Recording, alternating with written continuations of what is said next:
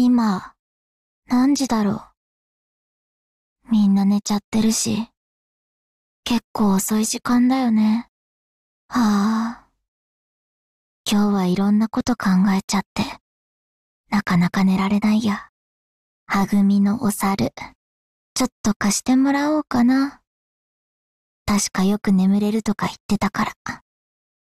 寝られないのかい？え？カオルさん、まだ起きてたの？かのシェイクスピアもこう言っているだろう。王者に安眠なし、とね。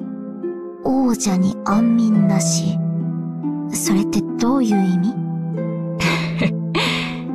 言葉の解釈は人それぞれ自由さ。そうだ。美咲に一つお礼を言わないといけなかった。え？お礼？私に？美咲に相談に乗ってもらった部屋の模様替えの件だが、今のままで行くことにしたよ。ああ、そういえばそんな話してたね。やはり、相談する相手がいるというのはありがたいことだ。いや、それは私のセリフだから。私はお礼を言われるようなこと何もしていないよ。たそうやってとぼけて。今日私、親に結構ひどい態度取っちゃってたでしょ？ひどいこと言っちゃったし、電話に出なかったし。そんなこと考えてたら、いろんなことがぐるぐるしちゃって、寝られなくなっちゃった。喧嘩するのってカロリーが必要だよね。なんか疲れちゃった。そうだ、美咲。こんな話は知っているかい？え？何？鳥のヒナは、卵から生まれて最初に見たものを自分の親だと思うそうだよ。ああ、それ知ってる。確か、すり込み？って言うんだっけ？結構有名な話だよね。この前、本を読んでいたら、たまたまそんな話を見つけたよ。とても興味深い話。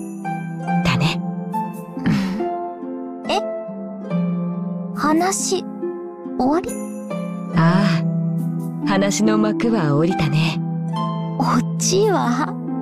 っていうか、その話から発展していい話になったりしない？普通。しかも、かなりいい話をしそうな雰囲気出してたよ、今のカオルさん。全くそんなつもりはなかったのだが、美咲はいい話が必要なのかい？え？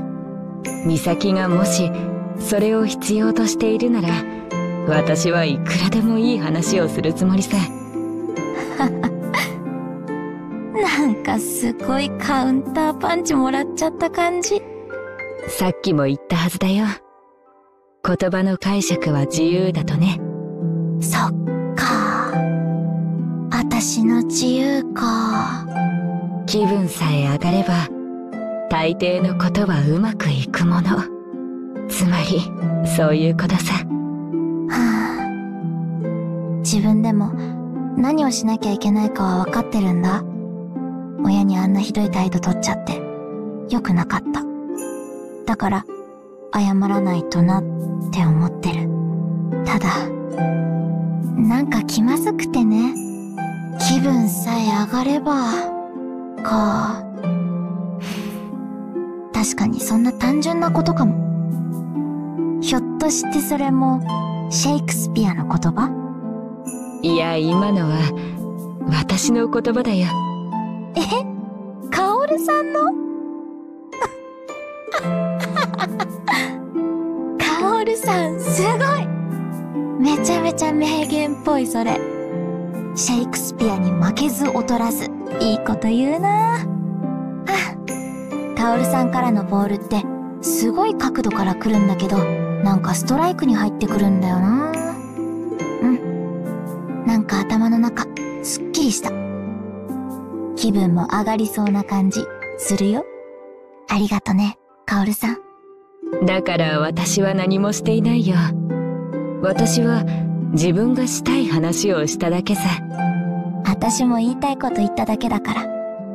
ああ、そういえば、こんな話もあるんだが聞いてくれるかい？はいはい、聞きますとも。オタマジャクシのエラっていうのは実は